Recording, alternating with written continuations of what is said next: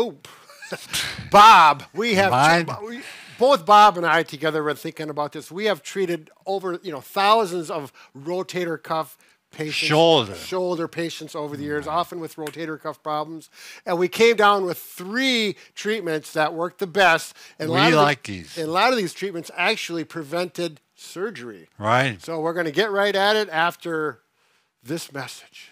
Bob and, And Brad. Brad. Not too much.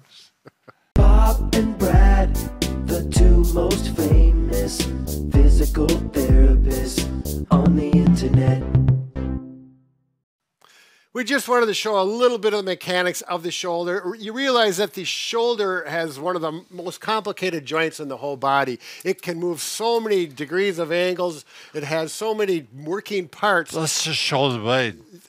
Show the shoulder blade. Oh, plus the shoulder blade. Right, and that is all part of it. One big thing is impingement, and impingement is probably up to 70% of shoulder problems. And this, Bob's finger, he's going to sacrifice his finger. Right. That represents the supraspinatus tendon, and impingement means. Ow! Yeah, that's what happens when you go up like this. Say it again, Bob. Ow. There you go. We got to eliminate that impingement. Okay, so the first, if you're having the shoulder problem, we're going to take a McKenzie. Robin McKenzie. Right, He was one of the. He's passed away now, but he is. Every therapist knows about him. This technique uh, has. I, I can think of one patient right off the top of my head. She was scheduled for surgery. We did this extension exercise. Surgery canceled after Wow. a week.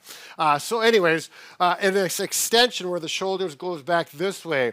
So, if you can go back this way and it feels okay, well, we need to do that more often. Right. So we'll do it up to 10 times, and it's like, oh, it feels good. It feels better. I can lift up my arm So higher. maybe six to seven times a day. Right.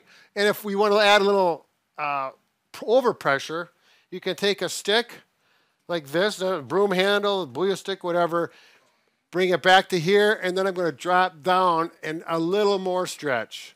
None of this should create sharp pain. It should just be a nice stretch. And what you'll do is see how far you can go up before the stretch, do the stretch 10 times. And if you can go up higher with less pain, It's test, retest. Yep, test, retest.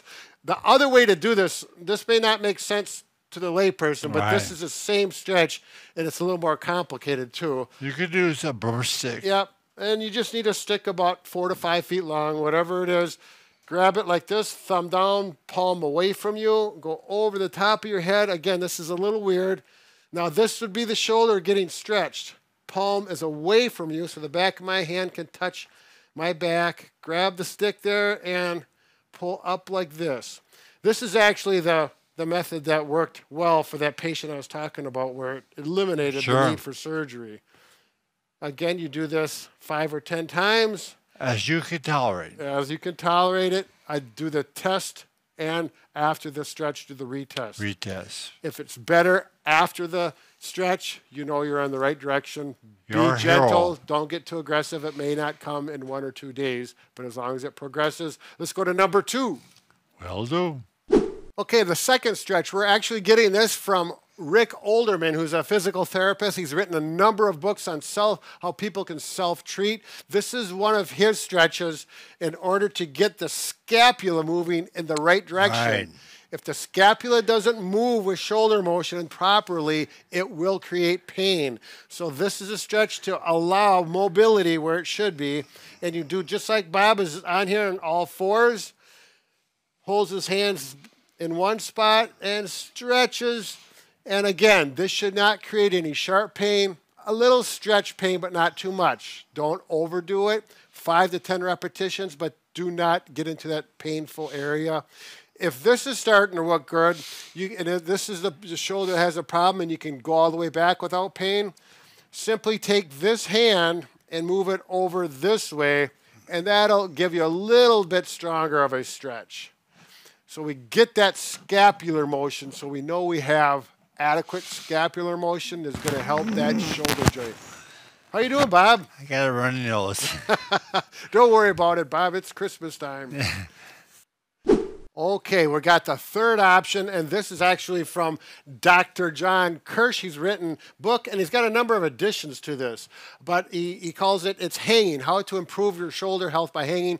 He should know because he's a surgeon of shoulders, and he has uh, written this book. And actually, he lost business because he started having people That's doing right. this, less surgeries. It's a good book. Uh, please buy it if you want to. It's written for the layperson the primary stretch he talks about is hanging.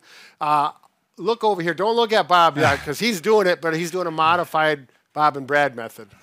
Uh, if you have a pull-up bar at home, it works well. Um, if you have hanging handles, we think this works a little bit better, but it's not necessary. Pull-up bar is fine. Make sure whatever you have is low enough so that when you grab it, you're not hanging. So now the the wall, the reason the wall or the pull-up handles work better because you're up against the wall and I'm sliding down slowly, and that's important that you don't get on this and hang all your weight right away because that can be too much too soon and you can cause problems.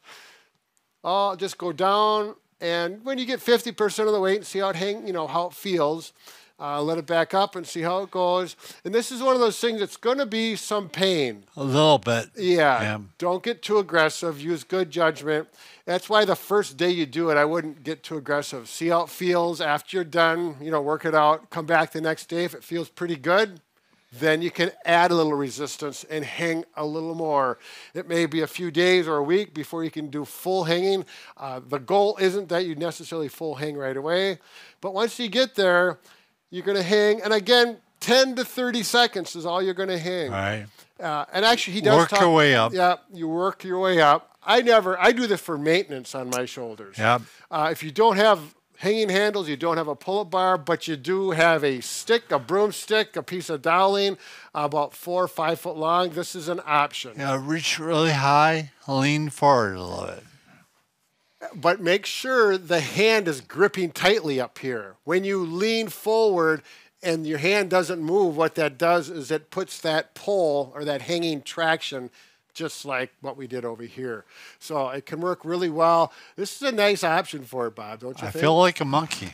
You, yeah, you look eh. like one. okay, now after you get your shoulder so you can elevate it, you got that impingement worked out with. You may work more than one of these. Maybe only one of these techniques is working fine. So only use a technique that works good. But once your shoulder's feeling better, you need to do some specific strengthening. This is bonus on the video. Uh, we're going to show you Great. a couple techniques. You need a resistance band, and you know, if you just have a band, you can do this motion. And that's going to work the external rotators of that shou- shoulder. It works better if you can take that band and anchor it around a bedpost. A doorknob works really good.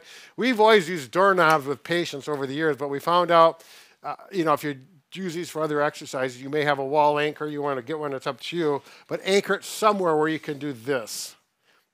Every therapist does this exercise for rotator cuff strengthening. Keep it right angle. The right angle here. Don't let this happen. No flying. Make sure that you have uh, the elbows in tight and you go out like this. I have found if it's sore and it kind of hurts up in here, I had a problem with this and I reached over in here, put a little pressure right on the top of that joint, and all of a sudden, oh, I can. It feels much better when I do it that way. And then after about a couple weeks, I didn't need to do that anymore, and it was a real. Help you. Yeah, I made that up myself, Yeah. Bob, but it really worked well. Good job. Yep. The next one, I want to show Bob this. We don't talk about this a lot, but if you have, I think this is forgotten in rotator cuff strengthening sometimes. You take a ball that's squishy, put it on the wall, elbows straight, and then you lean into it.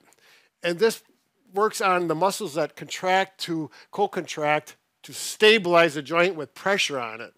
Like if you're pushing a cart or a wheelchair or something like that, this exercise is really important. Push on it, make circles both directions, up and down, right and left, and you'll be amazed how much fatigue you feel in that shoulder joint after 30 seconds of doing that. Well, help the rotator cuff do its job. Absolutely. You first get it the range of motion, strengthen it, and then go to work and be careful. We don't mm. want to have shoulder problems your whole life. Well, Bob, once again, we could fix just about anything except for. A broken heart. Yeah, I'm not going to go crazy this time. I'm just going to be calm and Stay collected. calm. Calm and collected. No stress. Mhm.